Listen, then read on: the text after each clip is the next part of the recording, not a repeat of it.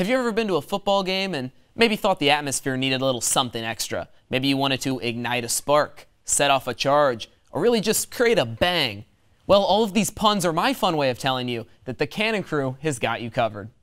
Every time Indiana scores points in a football game is unique, but one thing always stays the same. Whether it's a field goal, a short run, or a big pass, the Cannon Crew is there to celebrate with a bang.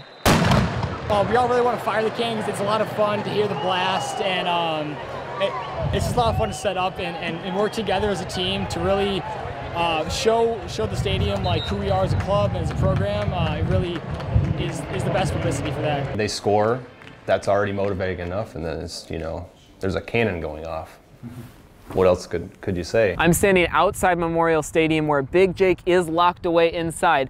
But let me tell you, if you're standing next to that cannon when IU scores during one of their football games, you have to be ready for when they fire.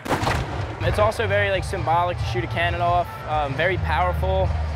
Kind of gets the crowd a little fired up. At least we think so. Gets us fired up.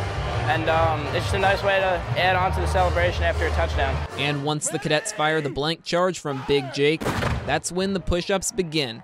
One for each point scored, plus the total already on the board. Our guys at Ohio State only did about 13 push-ups the entire game.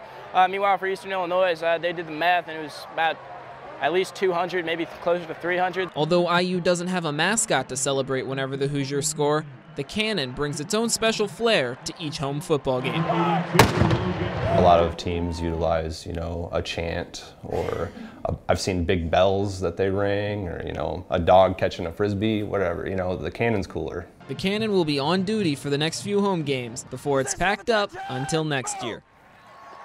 Ball out! The Hoosiers have just one more home game this season when the Michigan Wolverines come to Memorial Stadium.